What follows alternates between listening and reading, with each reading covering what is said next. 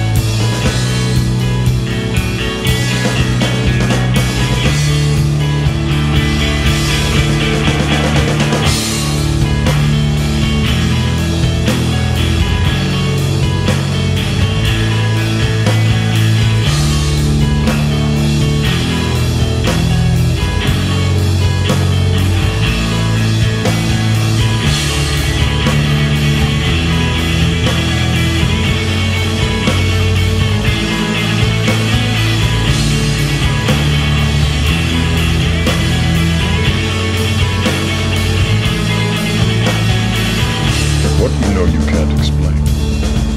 But you feel it. You felt it your entire life. There's something wrong. You don't know what it is, but it's there. Like a splinter in your mind.